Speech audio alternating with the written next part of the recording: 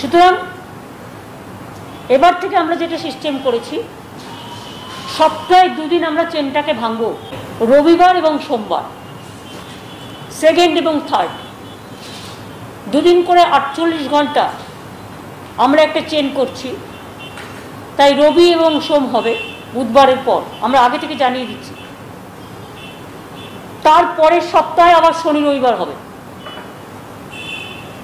শনি রবিবারটাকে আমরা প্রায়োরিটি দিচ্ছি, তার কারণ রবিবার, শনিবার এমনিতেও অনেক ছুটিও থাকে। আমরা আটটা ডিস্ট্রিক্টে যেখানে কোভিড একটু বেশি হচ্ছে, সেখানে আমরা আটটা আইএস সিনিয়র অফিসারকে দিয়ে।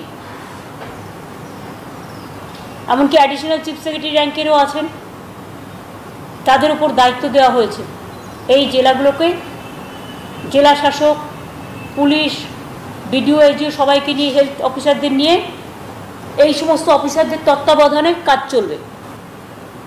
কোভিড এটা হচ্ছে AIDS separate team for effective coordination government সার্ভিসে যেমন চলছিল, তেমনই চলবে। নতুন করে আমরা কিছু চেঞ্জ করছি না। গভর্নমেন্ট, প্রাইভেট সবাইকে বলব, সোশ্যাল ডিস্টেন্সিং মেনটেন করে।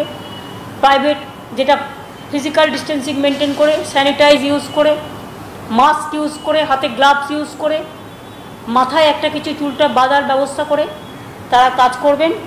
কারণ নিজেকে কিন্তু সচেতন থাকতে হবে। অনেক সময় মাস্ক কিন্তু আমরা পরছি না।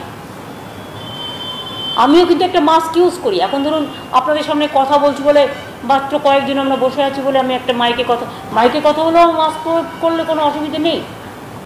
কিন্তু তার মধ্যেও আবার কমপ্লিট লকডাউন যে কথাটা চালু হয়েছে, সারা রাজ্যে সেই কমপ্লিট লকডাউনটা হচ্ছে, এটা যদি কোভিডটা সংক্রামক হয়ে ছড়াতে না পারে, আমরা কোভিডের চেনটাকে একটু ব্রেক করছি। এটা এক্সপার্টসদের